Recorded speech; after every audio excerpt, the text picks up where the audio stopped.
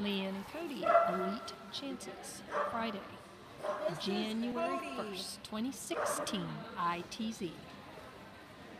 It's a lot of stuff to remember.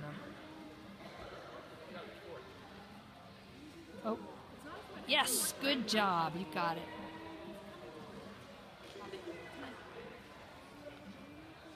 I think Phyllis is uh, narrating from behind me.